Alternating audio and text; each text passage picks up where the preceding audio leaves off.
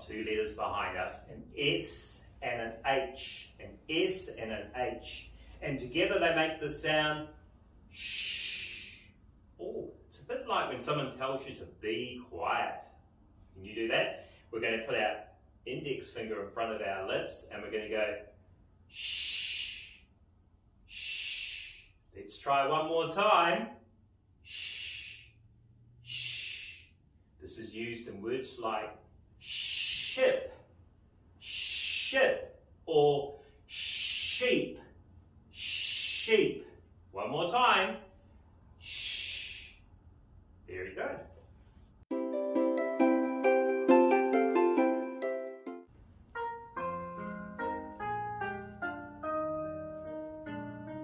Hush, hush, hush,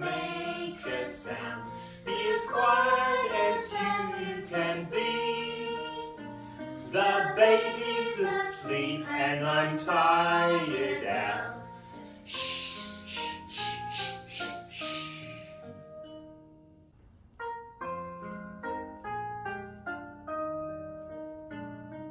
Hush, hush, hush, don't make a sound.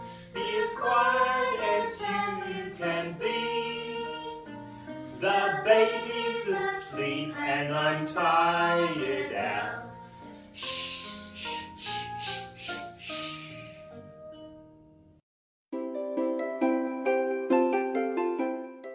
Mrs. Shaw has just had a baby. The baby is called Shannon. Sam is her elder brother. He thinks she is all right, but she cries a lot. While his mother tries to get Shannon to sleep, Sam goes and plays with his toys. He plays in his shop with his cash register.